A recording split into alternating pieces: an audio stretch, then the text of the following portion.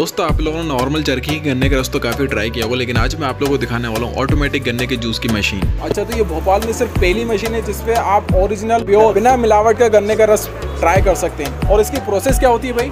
Process ये होती है कि गन्ना पहले हम छीलते हैं पूरा। ये देखिए पूरी तरीके से छिल चुका है गन्ना ऑटोमेटिक और फिर इस गन्ने को यहाँ पर फ्रिज में रख दिया जाता है। और हम यहाँ से गन्ना ये निकालते हैं। मशीन ऑन करिए। अच्छा गन्ना यहाँ से अंदर जाएगा।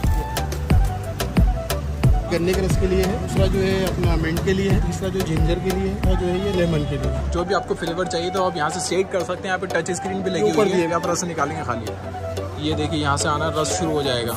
और इसमें अंदर भी फ्रीजर दिया लाइनिस दी हुई है पूरी। अच्छा। तो उससे राउंड होता हुआ वो ठंडा होता हुआ पूरा रस यहाँ से आता है। अच्छा ये fully automatic fully machine automatic machine और जूस कैसे लगा आपको? जूस बहुत अच्छा है बहुत मज़ेदार है तभी तो रोज़ आता हूँ। अपना आइसक्रीम पार्लर का पता है करबला रोड भोपाल यहाँ पर स्पेशल गन्ने का जूस पीकर रिफ्रेश हो जाइए।